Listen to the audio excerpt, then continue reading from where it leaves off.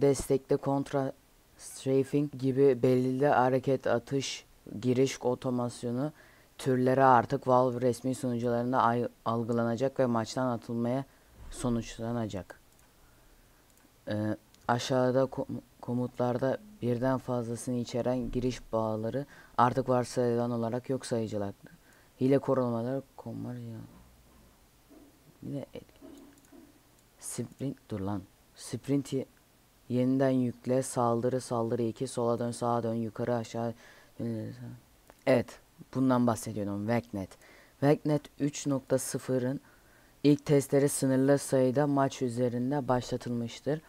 Maçınızın yanlışlıkla iptal edildiğini düşünüyorsanız maç ayrıntıları CSGO Team Feedback bu Gmail'e adresinden bize e-posta gönderin.